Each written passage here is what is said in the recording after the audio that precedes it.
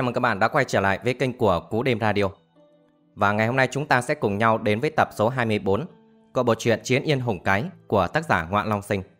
Các bạn hãy like và comment cảm xúc của mình sau khi mà nghe chuyện. Và đặc biệt đừng quên ấn đăng ký kênh Cú Đêm Radio để mà cập nhật những tập truyện mới nhất. Cảm ơn các bạn rất là nhiều. Và ngay sau đây thì xin mời các bạn cùng bắt đầu vào tập truyện.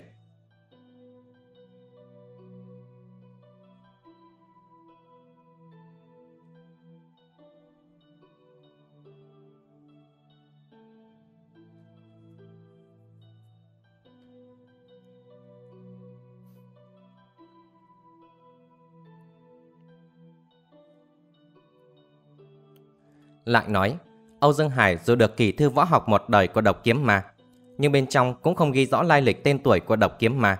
Lúc này nghe cổ thiên lão nói về chiêu ngân hà đan huyền với võ học âm dương cốc có gốc gác, không khỏi buột miệng hỏi. Bởi vì chàng đối với vị kỳ nhân độc kiếm ma có rất nhiều tâm lý hiếu kỳ. Lúc cô Lâu Thiên Tôn nói, ánh mắt nhìn chăm chú vào Âu Dương Hải, lúc này thấy chàng có vẻ xúc động, trong bụng mừng thầm. Hắn cố ý mỉm cười thần bí nói. Đâu chỉ gốc gác thôi đâu, Thực ra có thể nói âm dương cốc có một bí mật khôn lường. Âu Dương Hải thực sự đã bị những lời nói kỳ lạ của cổ lão thiên dẫn vào cảnh giới hiếu kỳ.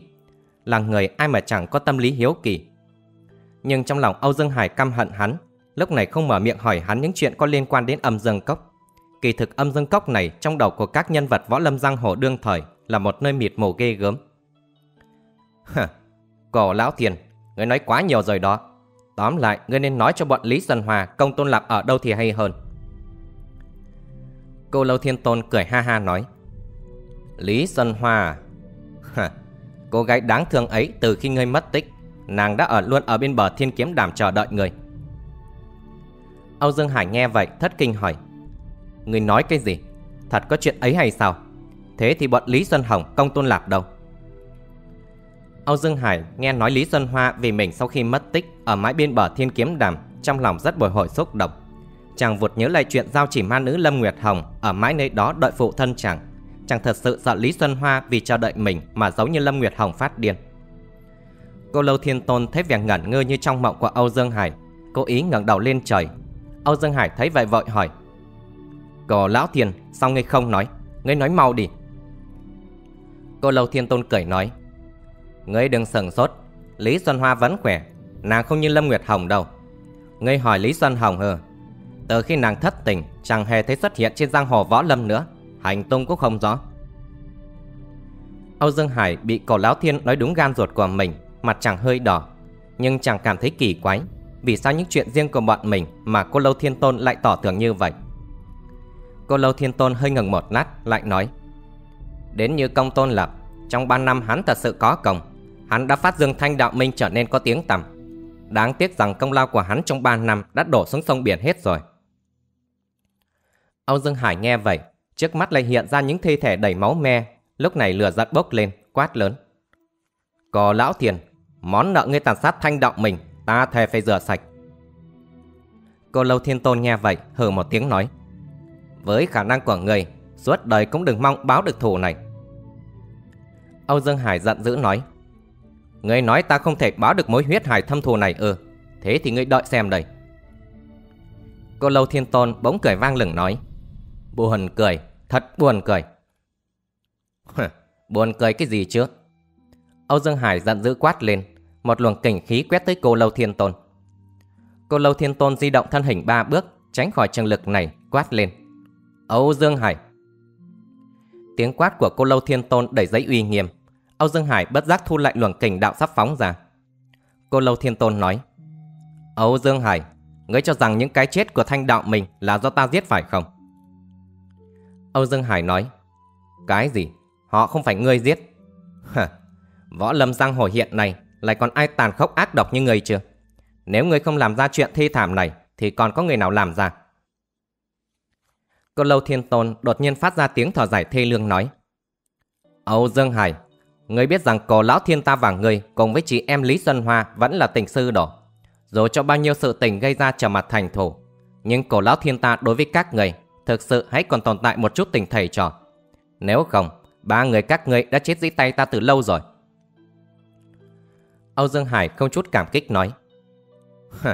cổ lão thiên, Ngươi đừng có nói năng cảm động như vậy. Âu Dương Hải ta đã sớm biết chuyện sát hại cha mẹ ta. Kỳ thực vạn sự trong thế gian, lưới trời lồng lộng, tuy thưa mà không lọt. Nếu muốn người ta không biết, trừ phi đừng làm. Cuối cùng cũng sẽ có một ngày sự bại thân vong trò còi Cô Lâu Thiên Tôn khẽ cười nói. Chuyện cũ đã qua, nhai lại làm gì chứ? ha ha ha ha Thi thể cha mẹ ngươi đã băng lạnh rồi. Cổ lão thiên ta cũng đã sắp chết rồi. Việc khi xưa, cổ lão thiên cả đời dám làm dám chịu. Vô luận lúc nào ngày nào, ta cũng vẫn chờ đợi người đến đòi nợ. Cô Lâu Thiên Tôn đột nhiên trầm giọng nói. Nhưng hôm nay ta nói với người là vào lúc xế chiều. Thanh đạo minh đã bị người chém giết tàn khốc. Chính là một lần tàn sát đầu tiên của người trong âm dương cốc với giang hồ võ lâm đó. Cái gì? Người trong âm dương cốc đã làm sao? Âu Dương Hải thất kinh hỏi. Cô Lâu Thiên Tôn nói. Người không có thấy cây cờ âm dương cô Lâu Kỳ cắm trên tảng đá sao? Một câu nói làm Âu Dương Hải sực nhớ lại cây cờ kinh tâm động phách kia. Chàng bất giác quay đầu nhìn. Anh ngờ vừa nhìn, chàng giật mình đánh thoát. Lá cờ ngoài hai mươi mấy trượng đã không thấy nữa. Nên biết rằng đêm nay trăng sáng vàng vặc, sao trời lung linh. Những gì xảy ra trong vòng 30 trượng với mục lực của Âu Dương Hải vẫn nhìn thấy rõ rành rành. Nhưng lá cờ kia đã biến mất từ hồi nào rồi. Âu Dương Hải vô cùng nghi hoặc hú một tiếng, thân mình nhảy xuống mỏm đá chạy đến bên tảng đá. Quả nhiên lá cờ âm dương cô lâu kỳ đã biến mất rồi. Một luồng gió nhẹ, cô lâu thiên tôn và con vượn nhỏ cũng chạy nhanh tới. Như vậy, trong khe núi này đã xuất hiện người thu lá cờ. Nhưng với thính lực của chàng lại không thể nghe được âm thanh của người đó tới lúc nào. Thật là một chuyện dị thường. Âu Dương Hải nhìn ánh mắt của cô lâu thiên tôn, hình như hắn cũng không nhìn thấy người đến thu lá cờ. Âu Dương Hải và cô Lâu Thiên Tôn đứng lặng lẽ hồi lâu. Cô Lâu Thiên Tôn buông một tiếng thở dài nặng nề nói Âm Dương Chi Sứ Với võ công tối cao của Tây Dương Sứ Chẳng lẽ Tây Dương Sứ đã tái xuất giang hồ rồi hay sao? Âu Dương Hải liếc nhìn cô Lâu Thiên Tôn nói, Những cái chết của Thanh Đạo mình Thật sự do người trong âm Dương Cốc hại chết sao? Nhưng có điểm đáng ngờ Là Thanh Đạo Minh và âm Dương Cốc Có dây mơ dĩ má thủ hận gì, Đến nỗi bọn họ đều trúng độc thủ. Cô Lâu Thiên Tôn lạnh lùng nói, Người trong giang hồ võ lầm Nếu muốn gây chuyện với người Thì cần gì phải thổ với hận? Thực ra ngươi và âm dương sứ Tại sao lại nói rằng không có thủ oán? Ba năm trước ở Thiên Kiếm Đàm Chẳng phải ngươi đã quyết đấu một trận Với đạo nhân áo xám Đông Dương Sứ Trong âm dương tam sứ đó sao? Âu Dương Hải nghe nói Nghiến răng nói Được âm dương cốc Âu Dương Hải này và các người Thề không đội trời chung. Cô Lâu Thiên Tôn cười nhạt nói Âu Dương Hải, ngươi không cảm thấy kẻ thù của ngươi quá nhiều hay sao? Âu Dương Hải nghe vậy giật mình thầm nghĩ. Phải rồi, ta phóng mắt nhìn ra giang hồ, hình như mỗi một cao thủ võ lâm đều có mối huyết thù không thể giải được với ta. Thiếu lâm phái, cô lâu hung thủ cô lâu thiên tôn, bạch hoàng giáo, giao chỉ ma nữ, vân trung nhạc, hồng yến tử diêu huân muội Nay lại còn thêm âm dương cốc nữa. Thật là đơn thân thế cô, bốn phía đều là kẻ thù. Âu Dương Hải nghĩ đến đây, bất giác cất tiếng thở dài thê lương, cảm khái vô hạn. Còn Lâu Thiên Tôn cười nhạt vẻ khinh miệt, hắn lại lên tiếng. Ngươi hãy còn trẻ lắm, không ngờ kẻ thù của ngươi lại còn nhiều hơn kẻ thù của ta nữa. Hình như người trong thiên hạ đều chống đối lại với người. Âu Dương Hải nghe vậy nổi giận quát. Cổ lão thiền ngươi câm miệng lại cho ta. Thế là ai có thù hận với Âu Dương Hải này, thì bất cứ một người nào cũng đừng mong thoát khỏi sự báo phục của ta. Cô Lâu Thiên Tôn cười ha hả nói Âu Dương Hải, ngươi có bao nhiêu năng lực để đối phó với kẻ thù khắp thiên hạ? Nội chỉ có một âm dương cốc thôi cũng đủ làm cho ngươi mất mạng rồi. Âu Dương Hải vượt nhớ lại trận ác đấu với đạo nhân áo xám ở Thiên Kiếm Đàm và chuyện lá cờ bỗng nhiên mất tích, đủ để thấy người trong âm dương cốc thật là ghê gớm. Nhưng âm dương cốc là một tổ chức gì không ai biết. Âu Dương Hải khẽ thở dài nói Cổ Lão Thiền có phải ngươi biết bí mật tổ chức âm dương cốc không? Nếu ngươi có thể nói ra, Âu Dương Hải này. Cô Lâu Thiên Tôn cười vang, Cắt ngang lời Âu Dương Hải nói. Âu Dương Hải, Ta đang muốn bắt tay hợp tác với người Cùng chống lại ngọn lửa hung tàn âm dương cốc. Nếu ngươi đồng ý, Ta sẽ nói hết những bí mật về âm dương cốc cho người. Âu Dương Hải cười lớn nói. Khổ lão tiền, Ta lại hợp tác với người ở Cô Lâu Thiên Tôn cười nói. Lợi hại tương quan, ta tin rằng ngươi sẽ hợp tác với ta. Nên biết rằng không chỉ bản thân âm dương cốc thần bí khó giải, mà còn thế lực to lớn của nó nữa. Trong đó ai ai võ công cũng cao cường. Chỉ nói âm dương tam sứ của âm dương cốc thôi cũng đủ làm cho ngươi ứng võ không nổi. Huống chi tam dương điện chủ của âm dương cốc và người thủy chung không trông thấy nữa. Từ trước tới giờ chưa hề bước ra khỏi cửa âm dương cốc một bước. Đó là âm dương cốc chủ. Này Âu Dương Hải, nếu ngươi đáp ứng cùng ta hợp tác chống lại người của âm dương cốc đến ngày thành sự, có lão thiên này sẽ đợi báo thủ cũng chưa muộn. Ý người như thế nào? Sau khi nghĩ kỹ rồi hãy trả lời. Bây giờ thứ cho ta còn có việc khác phải cáo từ đây. Chúng ta sẽ còn gặp lại. Cô lâu thiên tôn cổ lão thiên, một người đầy thần bí kỳ quặc nham hiểm tàn khốc, mà lại giống như nhân tử trang nghiêm chính khí lẫm liệt. Sau khi nói xong, khẽ chắp tay hành lễ, rời thân người biến mất trong đêm tối. Chỉ còn lại Âu Dương Hải với bao sầu tư hoài nghi bất định, đứng ngẩn ngơ chỗ cũ. Một làn gió nhẹ thổi tới, Âu Dương Hải cảnh giác quay phát lại nhìn. Dưới ánh trăng sao, ngoài ba trường có một người dâu dài phất phơ, mặt mũi hiền lành, tay cầm một lá cờ thiết kỳ màu đen tung bay theo gió. Lá cờ này chính là lá cờ âm dương cốc cô lâu kỳ hồi nãy cắm trên tảng đá. Mà người cầm lá cờ này chính là người Âu Dương Hải vô cùng quen biết. Âu Dương Hải buột miệng kinh hãi kêu lên. Thiên Sơn Thiền Sư Nguyên người cầm lá cờ âm dương cốc cô lâu kỳ là một vị hòa thượng. Hòa thượng này chính là sư huynh của trưởng môn thiên minh phái Thiếu Lâm ngày nay. Người đã từng chỉ dẫn võ công cho Âu Dương Hải khi xưa, đó chính là Thiên Sơn Thiền Sư. Vì thần thăng Thiên Sơn Thiền Sư trước giờ chưa từng bước ra giang hồ một bước, rất hiếm khi ra khỏi tiểu viện nhỏ trong chùa Thiếu Lâm tự bao giờ, mà đêm nay lại xuất hiện ở đây. Đôi mắt Âu Dương Hải bùng lên tia lửa, run run nói: "Lão tiền bối, người tham dự vào cuộc chém giết này, không biết có..." Thiên Sơn Thiền Sư nói: Lão Nạp đã hơn 40 năm không khai sát giới. Những người chết của thanh đạo mình Lão Nạp không có tham gia.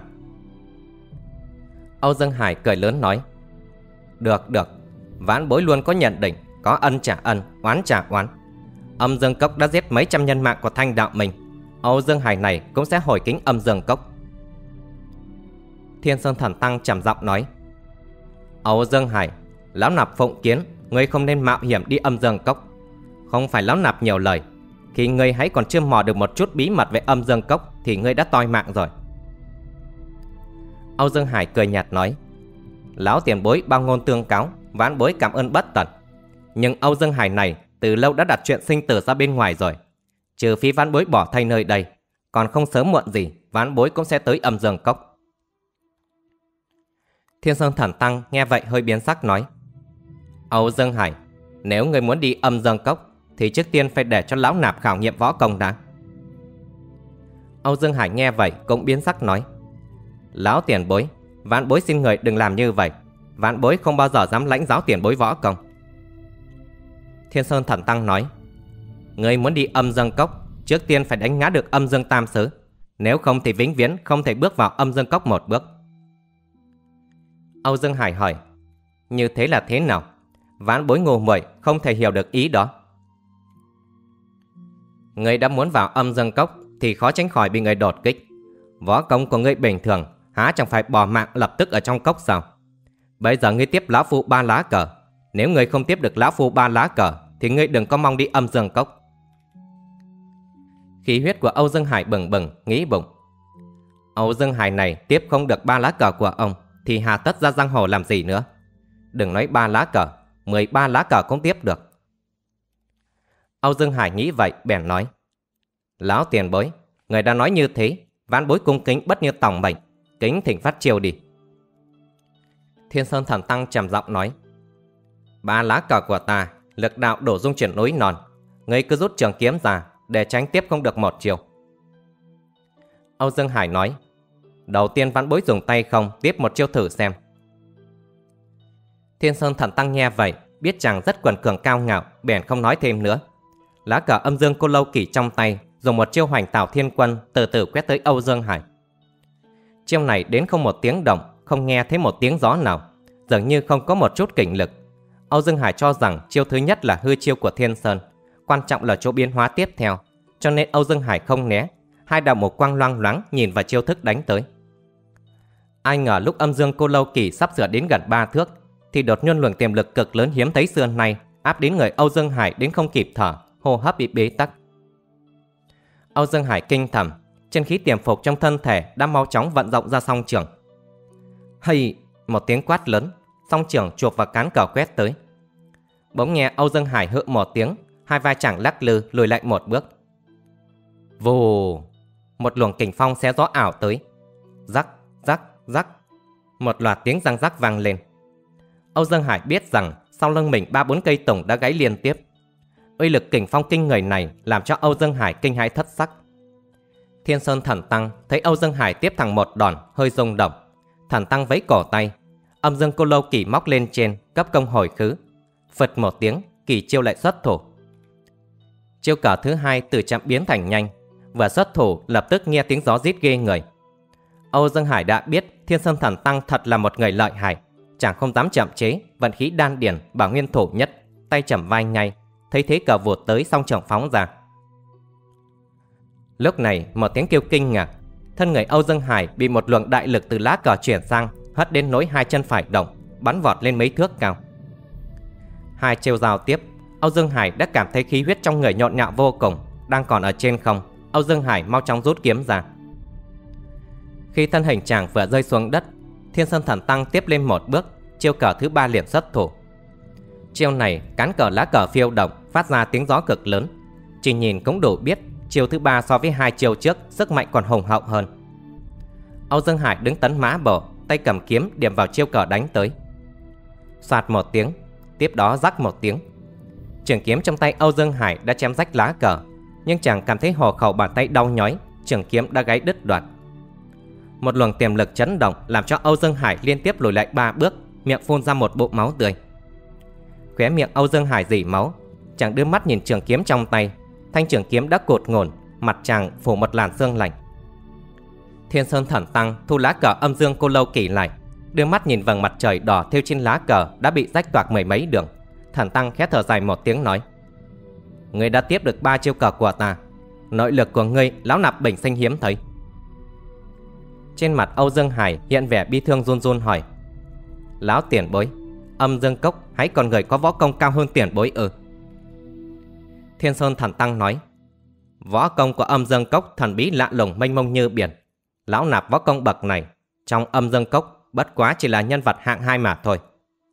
À, Lão nạp thực sự đã già rồi. Thiên Sơn Thần Tăng nói đến đây Rồi chậm chậm cất bước biến mất vào trong khe núi. Âu Dương Hải từ khi nghe Thiên Sơn Thần Tăng nói đến trong âm dương cốc bất quá chỉ là nhân vật hàng thứ hai, chàng bi thương trong lòng, ngàn nhìn thanh kiếm gãy trong tay đến xuất thần. Lúc này trong bóng đêm nơi khe núi Có một bóng người từ từ đi tới. Người ấy đi tới trước mặt Âu Dương Hải Cúi xuống nhặt đoạn kiếm gãy rơi trên mặt đất.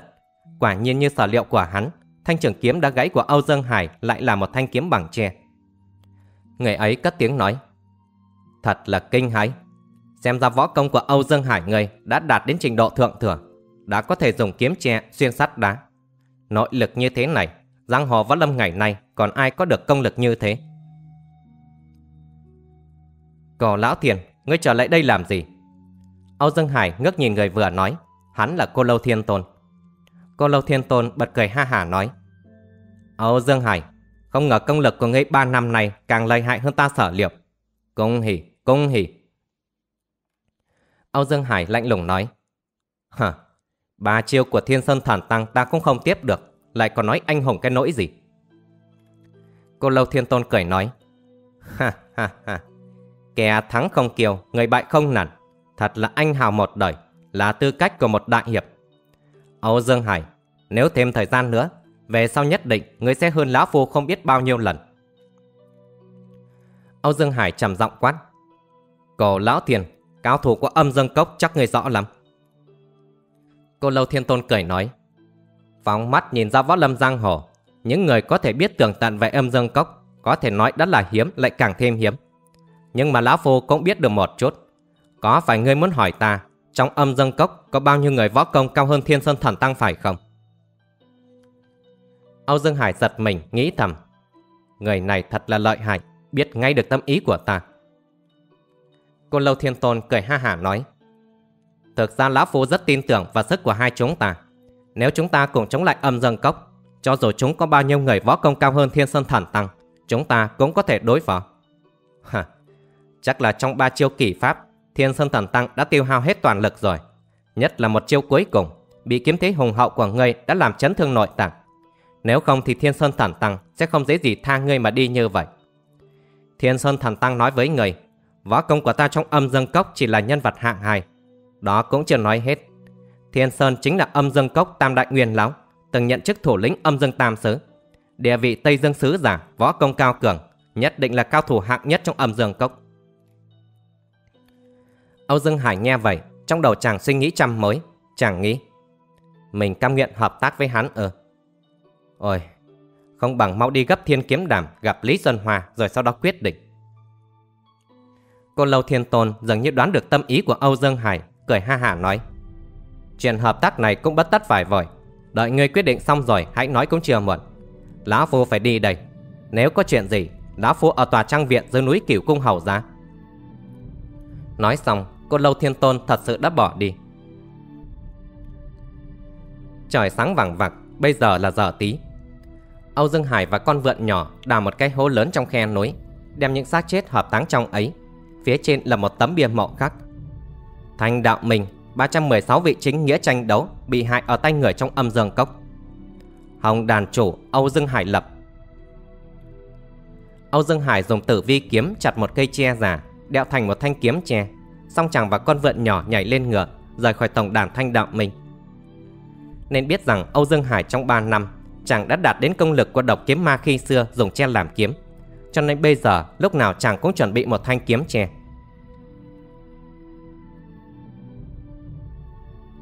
Hai giờ sau khi Âu Dương Hải đi khỏi, trong khe núi lại vang lên tiếng vó ngựa, một con thần câu bạch mã phóng đến.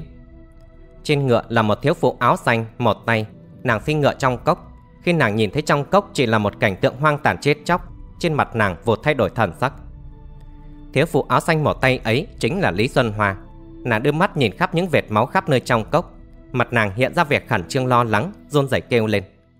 Công tôn đại hiệp, công tôn phó minh chủ. Đương nhiên trong cốc không có một tiếng trả lời nào. Đột nhiên nàng liếc thấy nấm đất gò lên bên ao nước, nàng vội vã chạy qua. Tấm bia mộ mà Âu Dương Hải đã lập hiện ra trước mặt nàng. Nhìn trên mộ bia, truyền toàn quân của Thanh Đạo Minh đều bị giết làm nàng vô cùng phẫn nộ nhưng phía dưới lại khắc ba chữ Âu Dương Hải làm nàng xúc động rơi nước mắt. Âu Dương Hải, chàng, chàng trở về rồi. Đây có phải là giấc mơ không? Phải không? Chàng trở về rồi.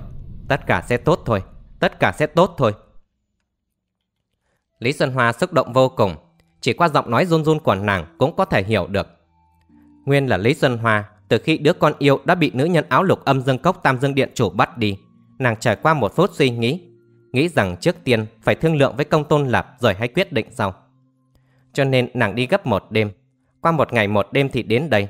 Anh ở nơi đây đã trở nên khác hẳn. Nhưng bởi vì nàng biết tin tức Âu Dương Hải tái xuất võ lâm, tin tức này đã chấn áp sự giận dữ của nàng.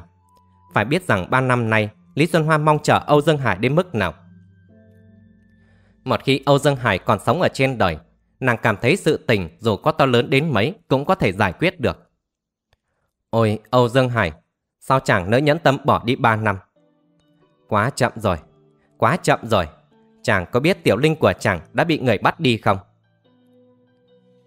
Tình cảm xúc động của Lý Xuân Hoa dần dần bình tĩnh lại.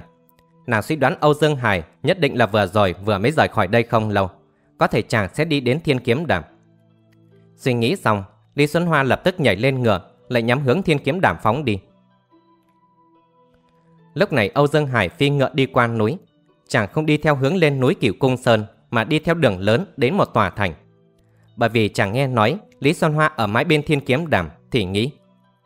Ba năm nay, Xuân Hoa nhất định cô lơn tẻ lạnh vô cùng.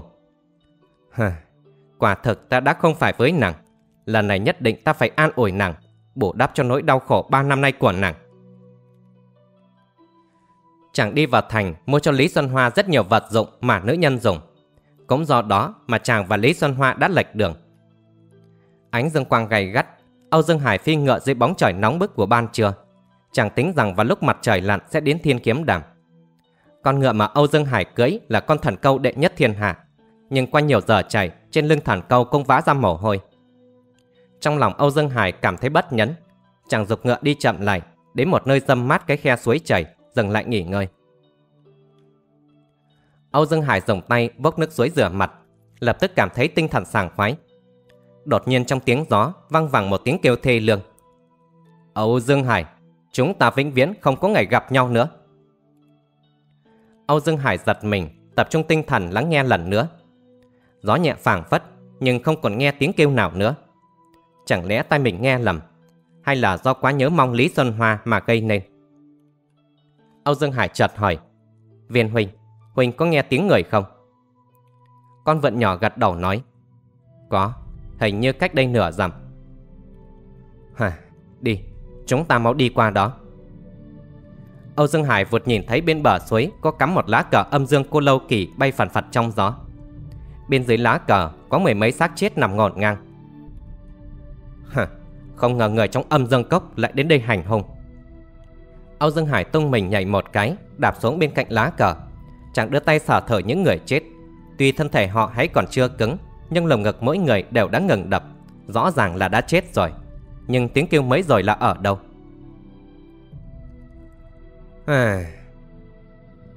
Âu Dương Hải đột nhiên trông thấy một lùm cỏ cách ngày bảy trường, hình như có người. Âu Dương Hải tung mình đến trước lùm cỏ. Đưa mắt nhìn, Âu Dương Hải bỗng lặng người. Nằm trong lùm cỏ là một thiếu phụ áo xanh, cánh tay trái đá cột, khắp người máu tươi, vết thương ngang dọc khắp mình, áo rách nát. Gương mặt thiếu phụ này trong mắt Âu Dương Hải sao mà quen thuộc. Nàng là Xuân Hoa ư, nàng là Xuân Hoa. Âu Dương Hải nhất thời đứng xứng người ở đó. Đột nhiên thiếu phụ cửa quẩy, tuy không dậy được nhưng trong miệng lại phát ra tiếng kêu yếu ớt. Âu Dương Hải, chỉ hận rằng ta không thể gặp mặt chẳng. Ôi, không phải Lý Xuân Hoa thì còn là ai nữa? Lần này Âu Dương Hải đã nghe rõ, chàng đã ôm sốc lấy thân mình nàng, rôn rôn kêu lên. Xuân Hoa, Xuân Hoa, ta, ta là Âu Dương Hải, ta là Âu Dương Hải đây. Thiếu phụ một tay áo xanh mà bừng đôi mắt nhìn Âu Dương Hải nói. Hóa ra chàng đã ở âm cảnh rồi. Thiếp cho rằng chàng thật sự hãy còn sống chưa? Rất, rất tốt. Dù là ở âm cảnh chúng ta vẫn tương kiến. Sau này chàng đừng lìa xa thiếp. Thiếp rất vui sướng. Có điều, có điều là Tiểu Linh. Tiểu Linh đáng thương không ai chăm sóc nó. Ôi, nữ nhân áo lục, tuyệt thu cổ kim. Xuân Hoa, Xuân Hoa, đây là chuyện gì vậy? Chúng ta hãy còn ở trên nhân gian. Nàng chưa chết, ta cũng chưa chết. Tiểu Linh là ai? Tiểu Linh là ai vậy? Người thiếu phụ một tay này chính là Lý Xuân Hoa, từ tổng đàn Thanh Đạo Minh đuổi theo Âu Dương Hải. Nàng đi đến đây đã trúng độc thủ, địch nhân tuyệt nghệ bất phàm. Chỉ qua vài chiêu giao đấu, nàng đã trúng một trường và bị ám khí kịch độc. E rằng mạng sống khó có thể duy trì. Lúc này, Âu Dương Hải thấy Lý Xuân Hoa ở trong tình trạng thập phần nguy hiểm, trong lòng rối tung. Qua lối để tóc và ăn mặc của Lý Xuân Hoa, chẳng nhớ Lý Xuân Hoa là một thiếu nữ như ngọc như hoa, sao lại trở thành một thiếu phụ? Chẳng lẽ trong ba năm nay nàng đã lấy một ai đó? Nếu không, sao nàng lại gọi Tiểu Linh? Tiểu Linh là ai? Lúc này, Lý Xuân Hoa nghe tiếng gọi của Âu Dương Hải, đôi mắt nàng mở thật lớn nói. Âu Dương Hải, đây là thực sự ư? Chàng, chàng hãy còn sống. Ôi, nhưng thiếp sắp chết rồi. Điều này không quan hệ. Chỉ cần chàng còn sống là thiếp an tâm rồi. Tiểu Linh cũng có người chăm sóc. Ôi, Tiểu Linh đâu? Nó là con trai của chàng đó. Âu Dương Hải, chắc chàng không biết thiếp đã sinh cho chàng một đứa con trai. Âu Dương Hải, bây giờ thiếp có lời dặn dò chàng. Sau khi thiếp chết rồi, Tiểu Linh sẽ không có mẹ nhưng chàng có thể tìm Xuân Hồng muội muội gọi nàng trở về, thay cho thiếp là mẹ Tiểu Linh.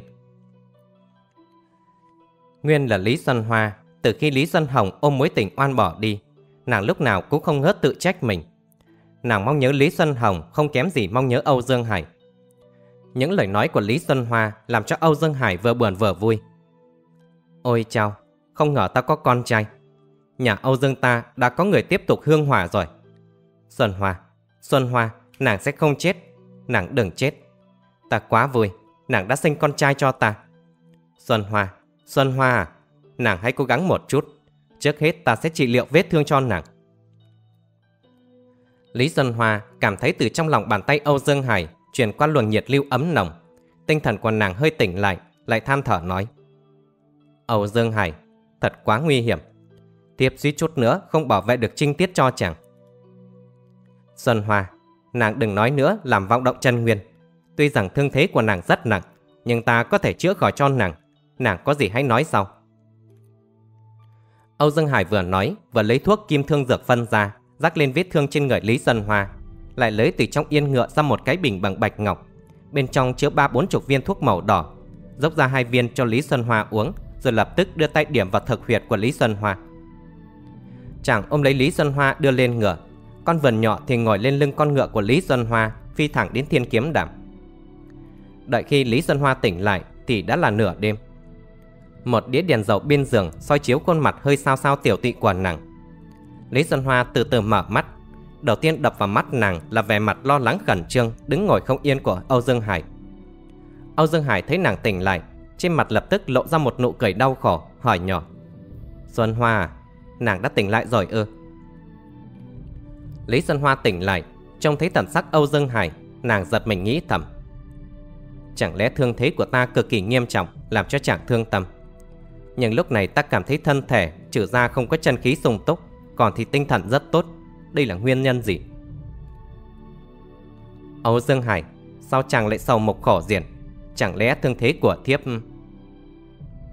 Âu Dương Hải mỉm cười nói Xuân Hoa, thương thế của nàng không đáng lo ngại nữa.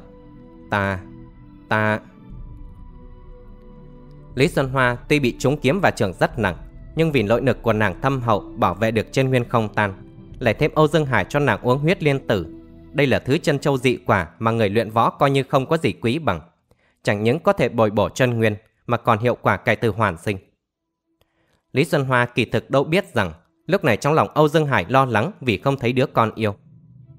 Nguyên là Âu Dương Hải nghe Lý Xuân Hoa nói mình có con trai, cho rằng có thể đứa con ở trong tiểu viện tại Thiên Kiếm Đàm và được tỷ nữ chăm sóc. Ai dè Âu Dương Hải đến tiểu viện này lại không thấy một bóng người. Chàng xem xét kỹ lưỡng đồ trong phòng, tuy có đồ chơi trẻ con nhưng không thấy dấu tích tỷ nữ ở đâu. Lúc này Âu Dương Hải bền lo, chàng hiểu lầm là Lý Xuân Hoa để con ở trong nhà một mình, còn nàng thì ra ngoài và phát sinh điều bất ngờ. Cho nên Âu Dương Hải lập tức kêu con vượn nhỏ ra ngoài tìm kiếm Tiểu Linh tìm sợ khắp xung quanh núi Cửu Cung Sơn xem có đứa bé không. Con vượn nhỏ đã đi lâu rồi vẫn không thấy quay trở về, cho nên Âu Dương Hải sốt ruột lo lắng như vậy. Đột nhiên lúc đó trên không trung có một tiếng hú từ xa bay tới gần. Lý Sơn Hoa nghe thấy biến sắc mặt kinh hãi nói Người này khinh công mau lẹ, thiên cỏ hiếm thấy, nhất định là âm dương cốc chủ. Âu Dương Hải thấy nàng có vẻ kinh hãi, lập tức nói Xuân Hoa, Nàng yên tâm, đó là huynh đệ của ta. Vừa mới dứt tiếng, một tiếng gió nhỏ trong tiểu sảnh đã vang lên. Tiếng con vượn nhỏ nói. Tứ xứ đều đã tìm khắp, ta không thấy đứa nhỏ đâu. Ngay lúc ấy, bỗng một xuất hiện thân ảnh có một người mặc áo lục che mặt. Đồng thời cô Lâu Thiên Tôn cũng không hẹn mà đến. Họ nhìn thấy Âu Dương Hải đang ôm lấy Lý Sơn Hoa thương thế trầm trọng. Người che mặt áo lục cười ha hả nói. Các ngươi chưa chết, Âu Dương Hải nghe vậy nộ khí sung thiên, nhưng vì để cứu Lý Dân Hoa, chàng bèn đổi giọng cầu khẩn nói. Cô nương, chúng ta vốn không thủ không oán. Lúc này Lý Xuân Hoa thương thế trầm trọng, xin cô nương giúp đỡ, chữa trị thương thế cho Xuân Hoa. Nữ nhân che mặt cười khanh khách nói. Người nói chuyện thật là buồn cười, vì sao ta phải chữa thương cho Lý Xuân Hoa chứ? Âu Dương Hải lạnh lùng nói. Phô phụ tại hạ tin rằng không có oán thổ với âm dương cốc vì sao con nương lại hạ độc thủ như vậy? Âu Dương Hải nói mấy tiếng sau này, thanh âm gấp gáp, sát khí đầy mặt, thần uy vô cùng lấm liệt. Nữ nhân nghe chàng nói xong, đột nhiên thở dài, ngẩng đầu bâng khuâng nhìn trời. Âu Dương Hải chăm chú nhìn vào thân hình của nàng ta, chàng cảm thấy dưới vẻ mặt ma quái kia, thân mình này biết bao là mỹ diệu, hình như chàng đã từng thấy qua rồi, nhưng không thể nhớ ra là ai. Còn cô Lâu Thiên Tôn đột nhiên à một tiếng, Ánh mắt hắn hình như lộ vẻ vô cùng khẩn trương hoảng hốt. Tiếng ồn này đã làm bừng tỉnh nữ nhân áo lục. Nàng cười lạnh lùng nói. Âu Dương Hải, ngươi đừng hỏi ta vì sao lại hạ độc thủ Lý Xuân Hòa. Kỳ thực ta nói cho người biết, ông Dương Cốc hôm nay tiến quân ra giang hồ, đó là ý của cốc chủ ta. Không tới một năm, người của âm dương cốc sẽ hủy diệt các phái võ lâm thiên hạ. Nếu ngươi muốn hỏi, âm dương cốc vì sao lại ra tay trước tiên với thanh đạo minh các người? Nguyên nhân là các ngươi có chìa khóa âm dương. Âu Dương Hải nghe đến chìa khóa âm dương bỗng giật mình. Tám thanh tiểu kiếm chính đang ở trong người chàng. Không ngờ mấy trăm mạng người của thanh đạo minh hoàn toàn là vì chìa khóa âm dương này mà hy sinh. Âu Dương Hải nghĩ đến đây, cười lớn một tiếng nói. Được, được. Món nợ máu này, Âu Dương Hải này nhất định sẽ báo. Ta muốn huyết tẩy âm dương cốc. Hả, chìa khóa âm dương ở trong người ta đây. Người muốn thì bây giờ đến mà lấy. Nữ nhân áo lục lạnh lùng nói. Dám chắc rằng ngươi chưa từng biết đường vào âm dương cốc thì đã bỏ xác ngoài cốc rồi. Ngươi đừng có hoành hoàng. Bây giờ ngươi tự động nói ra chìa khóa âm dương ở trên người ngươi. Tốt lắm. Nhưng ta sẽ không ép người đâu. Ta nói cho người biết, nếu người muốn tính mạng của Lý Sơn Hòa hoặc là Tiểu Linh, thì hãy biết điều đưa chìa khóa âm dương ra đây. Âu Dương Hải bình sinh chưa từng bị người uy hiếp như vậy, chẳng tức giận hờ một tiếng, thân mình lao vút tới. Nhưng thân hình của chàng vừa động, bóng nữ nhân áo lục khẽ lắc một cái, bay giạt qua một góc tối quát. Âu Dương Hải, nếu ngươi không muốn tánh mạng của Tiểu Linh thì ngươi cứ động vào đi. Lúc này trong ngoại thất vang lên thanh âm thê lương của Lý Xuân Hoa kêu lên. Âu Dương Hải, đừng!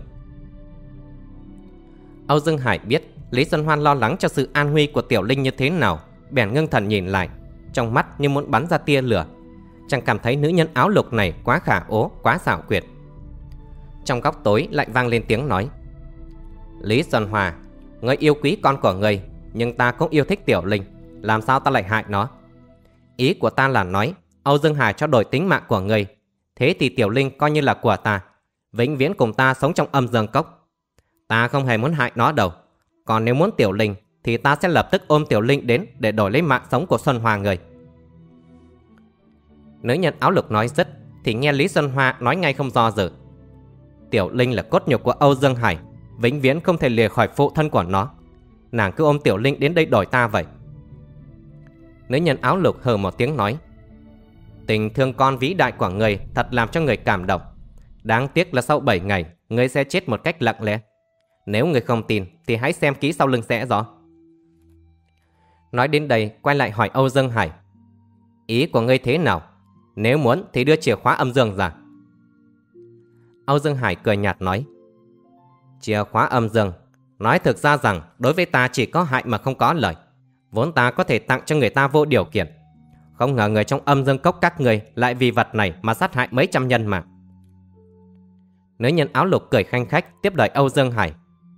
Phải đấy, chìa khóa âm dương trên người ngươi chẳng có ích gì.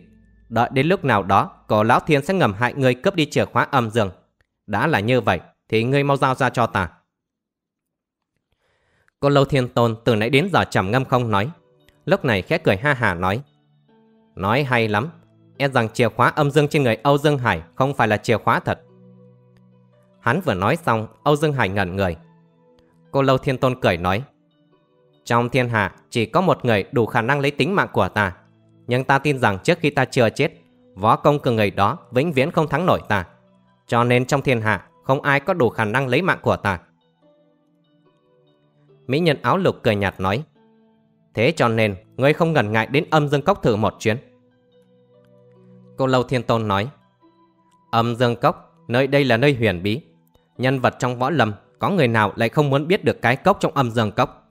Nhưng chỗ ảo diệu thật sự bí mật của âm dương cốc chắc chắn người cũng chưa tới. Nữ nhân áo lục cười khanh khách, không trả lời câu nói của hắn. Âu Dương Hải lúc này hừ một tiếng nói. "Ngươi nói không làm hại tiểu linh, như thế thì rất tốt. Thế thì ta sẽ dùng chìa khóa âm dương trao đổi với người. Ngươi phải trước khỏi vết độc thương của Lý Dân Hoa. Lý Dân Hoa đột nhiên kêu lên. Sao chàng lại không muốn tiểu linh? Dù thiếp thật sự sẽ chết Nhưng thiếp cũng không muốn cốt nhục của mình Để cho người ta nuôi dưỡng Âu Dương Hải ơi Muội cầu khẩn huynh hãy trao đổi tiểu linh trở về Ý của nàng thật vô cùng kiên quyết thành khẩn Vô cùng bi thương Nữ nhân áo lục mỉm cười nói Lý Dân Hòa Ngươi nói ngươi không muốn đem cốt nhục của mình cho người ta nuôi dưỡng Thế thì tại sao ngươi lại bảo nên đưa tiểu linh cho Lý Dân Hồng nuôi dưỡng Câu nói này làm cho Âu Dương Hải kinh ngạc những lời nói của Lý Xuân Hoa nói với chàng bên bờ suối. Không ngờ rằng nữ nhân áo lục đã hại Lý Xuân Hoa xong, vẫn không bỏ đi mà nghe được câu nói này. Nữ nhân áo lục nói tiếp. Hả, chẳng lẽ ta không chăm sóc cho Tiểu Linh tốt hơn Lý Xuân Hồng hay sao? Đã là như thế thì ta không muốn Tiểu Linh. Âu Dương Hải nghe xong càng thêm ngơ ngác, dù chẳng thông minh nhưng cũng không đoán ra tâm lý của nữ nhân này. Trong ngọa thất vang lên giọng nói run run của Lý Xuân Hoa. Nàng, nàng là Xuân Hồng muội muội phải không? Nữ nhân áo lục nghe vậy, đột nhiên bật ra tiếng cười lớn nói: "Ta là Lý Xuân Hồng ư? Thật buồn cười. Vì sao ngươi ngay cả Lý Xuân Hồng từ nhỏ sống chung đến lớn cũng không nhận ra? Hèn nào như ngươi mà không màng đến liêm sỉ, đoạt lấy người yêu của muội muội người?" Câu nói này quá khinh bạc lại tàn độc nữa. Âu Dương Hải nghe vậy quát lớn: "Ngươi câm ngay cho ta!" Cùng lúc với tiếng quát, Hiếu trưởng Âu Dương Hải phóng ra một luồng kình khí phách không đánh thẳng đến nữ nhân áo lục che mặt. Nữ nhân áo lục cũng không phải tay vừa, chỉ thấy bàn tay Hiếu có đeo găng trắng quần nàng khẽ tung ra một vầng sáng màu hồng. Trường kình đủ để lật núi nghiêng sông của Âu Dương Hải tan biến mất không còn gì. Loài thủ pháp quái dị này làm cho Âu Dương Hải vô cùng kinh hãi. Lại nghe cô Lâu Thiên Tôn kêu lên. Âm dương chẳng lực thật là kỳ diệu tuyệt luân. Lão Phu đã mở được tầm mắt. Nữ nhân áo lục hình như không muốn đánh nhau với Âu Dương Hải. Nàng khẽ lắc mình, người đã giạt ra ba trường, cười nhạt nói. Trong 7 ngày này, ta sẽ chữa trị cho Lý Xuân Hòa. Tiểu Linh hoàn toàn sẽ thuộc về sở hữu của ta. Chúng ta ngày sau sẽ còn gặp lại. Nói xong, nàng quay người phóng đi. Âu Dương Hải thấy nàng kêu lên. Viên Huỳnh, giúp ta chặn nàng ta lại.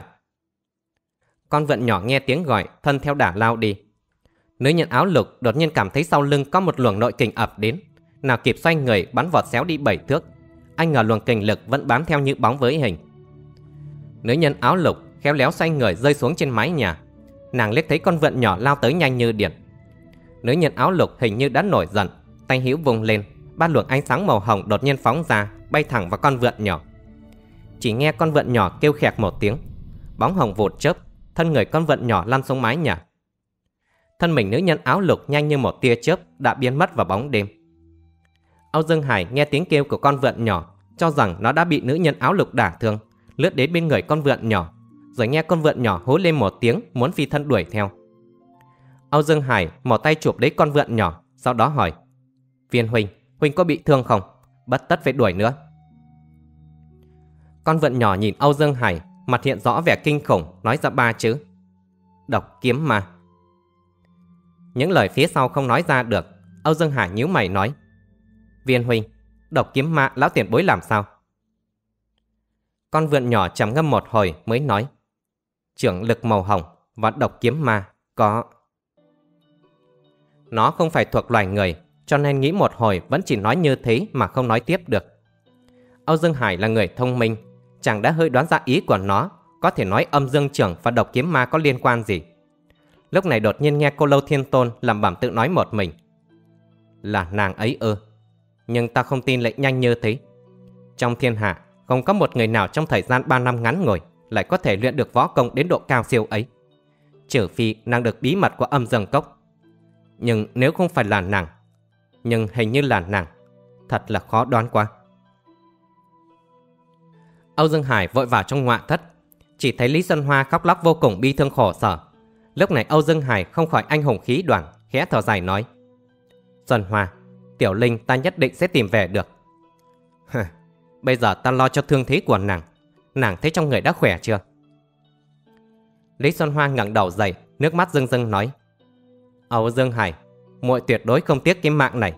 Nhưng Tiểu Linh vô luận thế nào chẳng cũng phải chiếu cố cho nó. Âu Dương Hải nói.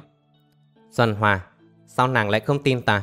Chẳng lẽ ta lại không yêu đứa con của mình hay sao? Những chuyện này mỗi lúc càng thêm sốt ruột càng cảm thấy phiền phức. Trước hết chúng ta phải biết tình hình của âm dương cốc, sau đó mới có thể hành động được. Nữ nhân đó đã nói sẽ không làm hại Tiểu Linh. Chắc là chỉ trong thời gian ngắn, Tiểu Linh sẽ không có chuyện gì xảy ra đâu. Sơn Hoa, nàng để ta xem thương thế như thế nào. Âu Dương Hải nói những lời như vậy đã hơi áp chế được sự bi thương trong lòng Lý Xuân Hoa, nàng khẽ gật đầu. Âu Dương Hải từ từ vén áo sau lưng Lý Xuân Hoa, vừa nhìn một cái Âu Dương Hải liền biến sắc đứng ngay ra đó. Lý Xuân Hoa thấy thần sắc trên mặt Âu Dương Hải, đã biết sau lưng mình đã nổi vòng tròn màu phấn hồng như nữ nhân áo lục đã nói. Trên mặt Lý Xuân Hoa không có chút gì sợ hãi, nàng cười nói: Âu Dương Hải Chàng đừng buồn giàu nữa. Số mạng của muội đã định là không thể cùng chàng sống tới bách niên dây lắm Ôi, Chàng đã cho muội một đứa con, muội đã mãn nguyện rồi. Huống chi chúng ta hãy còn thời gian mấy ngày nữa. Tuy rằng rất ngắn ngủi, Nhưng đủ cho chúng ta hồi ức một đời hạnh phúc. Ngừng một chút để lấy hơi, Lý Xuân Hoa lại tiếp. Âu Dương Hải, Bây giờ thiếp duy nhất khẩn cầu chàng một điều, Là trước khi thiếp chưa chết, Thiếp muốn thấy mặt Tiểu Linh lần cuối. Chàng Chàng có thể tìm được Tiểu Linh về không? Và sau đó chàng tìm Hồng muội muội. Âu Dương Hải khét thở dài nói, Lý Xuân Hoa, Nàng biết sau khi nàng chết rồi Sẽ xảy ra kết quả nghiêm trọng gì? Chẳng lẽ ta lại đối với nàng Không có một chút xíu ân tình phu phụ hay sao? Nàng nói thật là ngây ngô, Sau khi nàng chết rồi, Ta lại theo ý nàng mà kết hôn với Hồng Muội ư? Lý Xuân Hoa nghe vậy Xúc động đến nỗi rơi nước mắt Rôn rôn nói Âu Dương Hải, Tình yêu chân thành của chàng làm thiếp cảm động quá. Thiếp thật khó mà báo đáp được ân tình nồng hậu này của chàng được. Mời phải nghe lời chàng mà sống. Nhưng Âu Dương Hải, hai tay nắm lấy cánh tay duy nhất của Lý Xuân Hoa nói, Xuân Hoa, Ta sợ nhất là tự nàng không muốn sống nữa. Như vậy thì tốt quá. Nàng yên tâm, Dù sao đi chăng nữa, Ta cũng sẽ tìm người chữa vết thương cho nàng. Bây giờ ta đi một lát. Lý Xuân Hoa đột nhiên nói Âu Dương Hải, Chàng phải hết sức đề phòng hắn đó. Nàng nói hắn ở đây đương nhiên là cô Lâu Thiên Tôn. Âu Dương Hải cảm kích nhìn nàng mỉm cười, Đi ra ngoại thất. Cô Lâu Thiên Tôn khẽ cười nói, Âu Dương Hải, Ta hỏi ngươi một chuyện, Có phải ngươi đã quyết định hợp tác với ta sao? Âu Dương Hải trầm ngâm một hồi nói, Chuyện này để Lý Xuân Hoa khỏi vết thương xong rồi hãy quyết định. Nhưng yên tâm, Trong thời gian ngắn ta sẽ không tìm người báo thù. Đến lúc đó, sẽ cùng ngươi ước định ngày quyết đấu Cô Lâu Thiên Tôn cười ha hả nói, Hay lắm, Nếu Lão Phu sợ ngươi tầm thổ Thì cũng sẽ không đến đây mời ngươi hợp tác. Thực ra ta chỉ vì đồng đạo võ lâm trong thiên hạ mà thôi. Âu Dương Hải cau mày hỏi, Có Lão Thiên Lời nói của ngươi khó mà làm cho người ta tin. Khi âm dương cốc muốn tiêu diệt các phái võ lâm, Chẳng phải chính đã hợp tâm ý của ngươi sao? Cô Lâu Thiên Tôn đột nhiên thở dài nói Người trong võ lâm giang hồ ngày nay Có một ai hiểu tâm ý của lão phù đâu? Âu Dương Hải hờ một tiếng nói, người bất tất phải giả vờ giả vịt trước mặt ta nữa. Có lão thiền, Ta đã nhận rõ bộ mặt tàn ác của ngươi rồi. Trước khi chúng ta còn chưa hợp tác, Ta muốn biết ngươi đối với âm dương cốc có giá tâm gì? Cô Lâu Thiên Tôn cười nói, Ngươi muốn hợp tác với ta, Hà tất phải hỏi nhiều như vậy làm gì? Không phải âm dương cốc đã có mối thù với ngươi hay sao? Ta giúp ngươi tiêu diệt âm dương cốc. Có thể nói rằng, đối với ngươi chỉ có lợi chứ không có hại. Âu Dương Hải nghĩ thầm. Phải rồi, Ta hà tất phải quan tâm, Hắn có dụng tâm gì đối với âm dương cốc? Chưa nghĩ xong, Bên ngoài viện vang lên một giọng nói. Xin tha cho Lão Phu không mời mà đến, Tham gia vào cuộc hội đàm của các vị. Tiếng nói vừa dứt, Bên ngoài sảnh vang lên tiếng gió nhẹ. Một lão nhân áo dài màu xám bước vào, Mặt mũi lão nhân lạnh như bằng không có biểu lộ một chút nhân tình nào. Cô Lâu Thiên Tôn trông thấy lão nhân này, Cười ha hà một chàng nói, Vân Huỳnh, Từ khi ly biệt có khỏe chứ Không ngờ đêm nay tại Thiên Kiếm Đàm lại gặp Huỳnh. Hóa ra người đó chính là một trong võ lâm ngũ kỳ Vân Trung Nhạc. Âu Dương Hải thấy Vân Trung Nhạc giật mình thầm nghĩ, Đêm nay tại đây mấy lần xuất hiện kẻ thù, Không biết đối với mình họ có tâm ý gì, Mình phải ngầm đề phòng độc kế của họ. Âu Dương Hải mỉm cười nói Vân Trung Nhạc mời ngồi. Vân Trung Nhạc lướt nhìn cô Lâu Thiên Tôn Rồi dừng lại trên người Âu Dương Hải nói. Âu Dương Hải Ngươi biết hắn đối với âm dương cốc có gia tâm gì không? Để Lão Phu nói cho ngươi biết. Cô Lâu Thiên Tôn cười ha hả nói. Hay lắm, hay lắm. Ta đây đang cảm thấy Không thể nào đem chuyện cơ mật của âm dương cốc Nói cho Âu Dương Thiếu Hiệp biết. Bây giờ Vân Huynh đến thật là đúng lúc. Ta cũng rất muốn nghe những chuyện có liên quan đến bí mật của âm dương cốc. Vân Trung Nhạc cười lạnh lùng nói, Thực ra bí mật về âm dương cốc mà ngươi biết Cũng không ít hơn lão phù. Có điều ngươi không muốn công khai Nói những bí mật đó ra cho người biết mà thôi. Cô Lâu Thiên Tôn cười nói Nói hay lắm. Thứ cho ta hỏi Vân Huynh một câu. Đêm nay Huynh xuất hiện tại Thiên Kiếm Đàm, Chắc không phải vì chỉ nói bí mật của âm dương cốc mà tới. Âu Dương Hải nghe vậy ngạc nhiên. Trong lòng chàng vốn cảm thấy Vân Trung Nhạc xuất hiện rất đột ngột. Nên biết rằng chàng và lão ta có thù hận. Vì sao lão ta lại tự động đến đây? Văn Trung Nhạc cười lạnh lùng nói, Có lão thiền, Điểm này ngươi tự hỏi chính ngươi sẽ biết. Đại khái là lão phu với ý định tới đây Cũng chẳng có khác người bao nhiêu. Âu Dương Hải hờ một tiếng nói, Hai người bất tất phải đấu võ mồm nữa. Trong lòng mọi người đều hiểu rõ, Giữa chúng ta đều có mối hận thù không thể giải, Vĩnh viễn không đội trời chung. Nhưng đêm nay các người giá lâm tệ xá Trước hết ta không phải tỏ ra phong độ của chủ nhân. Mọi người cứ gì có nói thẳng ra. Cô Lâu Thiên Tôn chợt nói, Âu Dương Hải, Không phải lão phu khoa trường. Ba năm nay hình như ngươi đã học tập được rất nhiều chuyện. Nếu ngươi không chết, Tương lai võ lâm giang hồ Chắc chỉ có ngươi là độc tôn. Phải, Âu Dương Hải trong 3 năm ngắn ngủi, Tính cách của chàng đã cải tiến rất nhiều. Chàng đã thực sự như một vị trung niên, Với tất cả sự việc đều xem xét chín chắn thận trọng. Sự việc biểu hiện vượt tuổi tác của chàng Hoàn toàn là do năm xưa, Chàng trải qua tận hết những cảnh tượng tang thương, Đói nọ ấm lạnh. Âu Dương Hải cười lạnh lùng nói, Chắc là Âu Dương Hải này Sẽ không chết trước cổ lão thiên đâu. Còn Lâu Thiên Tôn quay sang nhìn Vân Trung Nhạc nói, Ta chính đang bắt tay hợp tác với Âu Dương Thiếu Hiệp. Không biết Vân Huynh cũng có ý này không? Nếu như vậy thì thật là may mắn. Vân Trung Nhạc khẽ bước đến ngồi xuống chỗ ngồi. Chậm rãi nói với Âu Dương Hải. Theo như suy đoán của Lão Phù Chìa khóa âm dương nhất định ở trên người Âu Dương Thiếu Hiệp. Âu Dương Hải nghe thấy Lão đột ngột hỏi chuyện này kẽ cong mày nói, Không sai, Chìa khóa âm dương luôn ở trên người tôi. Văn Trung Nhạc chuyển sang cô Lâu Thiên Tôn nói, Nếu ngươi nói hiểu được cơ mật của âm dương cốc, Nhưng bảo triệt để nói ra chỗ cơ mật của âm dương cốc, Thì nhìn khắp thiên hạ chẳng có mấy người. Dù là ngươi tự khoe có thể nói ra được Thì chắc chắn chỉ có thể nói được một nhóm Chứ không thể nào nói cho đại khái được Lão nói đến đây ngừng lại ngẩng đầu nhìn cổ lão thiên Cô Lâu Thiên Tôn khẽ cười nói Vân Huynh kiến thức rộng rãi Tăng nguyện lắng nghe Vân Trung Nhạc thong thả nói Ước chừng 300 năm trước, ở tại âm dương cốc có một vị tài tử là La Cơ chân Nhân. Vị La Cơ chân Nhân này chưa hề xuất hiện trên võ lâm giang hồ. Nhưng trong võ lâm thịnh truyền rằng La Cơ Nhân Nhân là một vị đại sư về đan dược. Trừ thuật y đạo luyện đan ra, người này cũng tinh thông thiên văn bói toán, đặc biệt nhất là võ công. Hầu như có thể nói là cái thế cổ kim đệ nhất nhân. Âu Dương Hải trong lúc lắng ngừng lại, mở miệng hỏi. Lão nói La Cơ chân Nhân không hề ra giang hồ võ lâm một bước vì sao người trong võ lâm lại biết rằng La cơ chân nhân tinh thông về võ thuật và cả y đạo, thiên văn bói toán. Văn Trung Nhạc hãy còn chưa trả lời, còn Lâu Thiên Tôn đã mỉm cười nói. Âu Dương Thiếu Hiệp hãy còn chưa biết.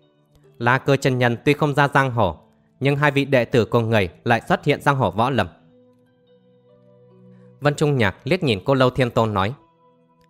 Hơn trăm năm trước, có hai người nam nữ tính cách rất lạ lùng xuất hiện trên giang hồ người nam anh Tuấn Tú Ví, người nữ quốc sắc thiên hương. Người nam tính tình cuồng ngạo, thích tàn sát.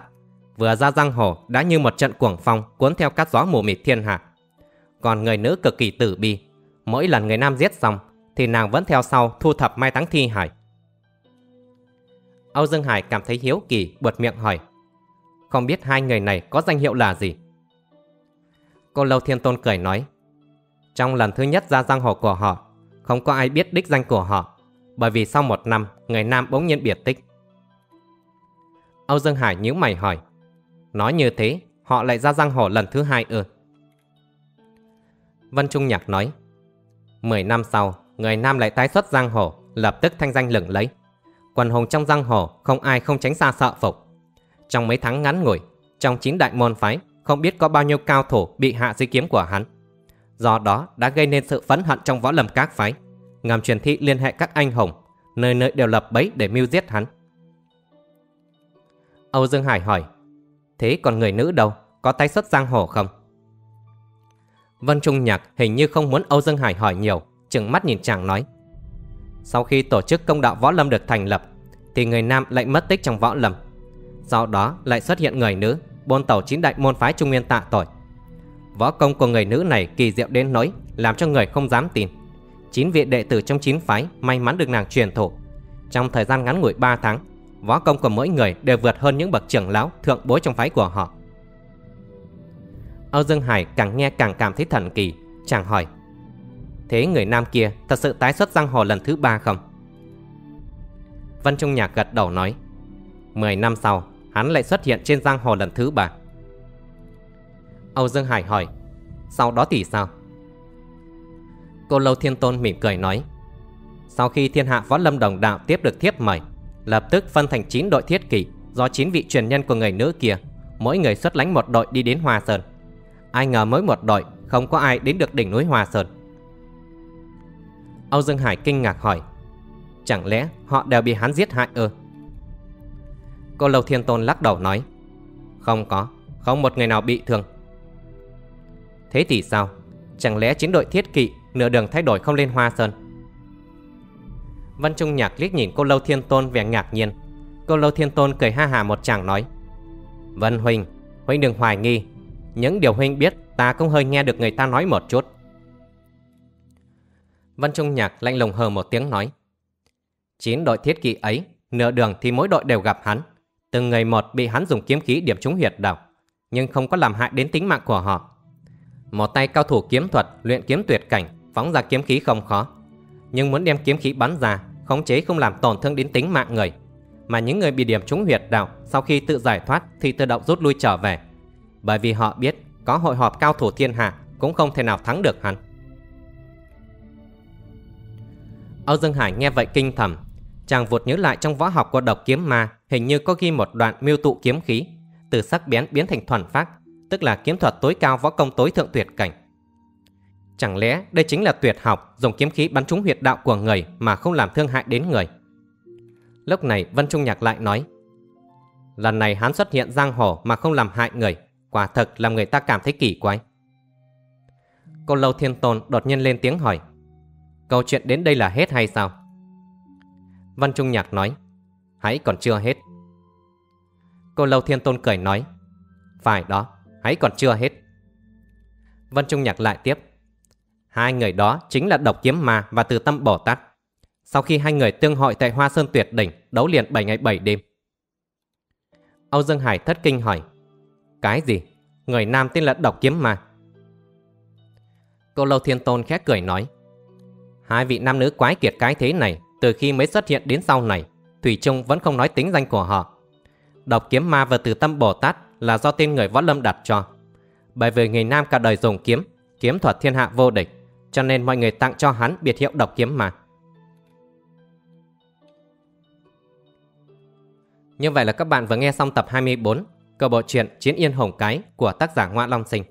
Xin kính chào và hẹn gặp lại các bạn trong các tập truyện tiếp theo trên kênh Cú Đêm Radio. Xin cảm ơn các bạn rất nhiều.